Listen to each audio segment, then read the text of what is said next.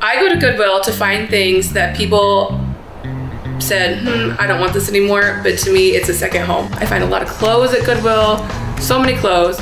I think I got these, these still had a tag on them. I think I got these for maybe $5. What got me into it was being a college student, needing to save money, but still wanting to find neat things. I was able to find this white chair that has like the pink cherry blossoms on it. I found this at Goodwill and this was only $8. I could not believe it. Pyrex, I find it all the time at Goodwill. I love it. Miss Erin usually comes in looking for like Pyrexes. She loves the salt and pepper shakers. She tends to love like the cups and stuff like that. Got a whole bunch of vintage Pyrex cups. If I have something that freshly came out, I just let her know what it is and where it is. And just, you know, just because I know kind of what she's looking for. Everyone is always friendly when you go into Goodwill. I've never had a bad moment there. They're super helpful. They greet you with a smile. They will answer any question that you ask. They're really great.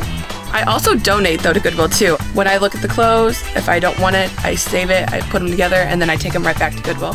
So it completes the whole circle again. So someone else can find joy in what I did not want. I think it's they have an amazing mission with that, and I think it's really for a good cause. Knowing that I can go there, one, I can help save the environment. Two, um, I'm helping people find jobs. I'm helping people learn skills that they need, whether donating or buying, it all promotes a really good program. Knowing that I'm spending $20 here versus to other corporate places, it completes a whole circle and that makes me really feel feel really proud to be a part of that. Every time I find things that I need to have.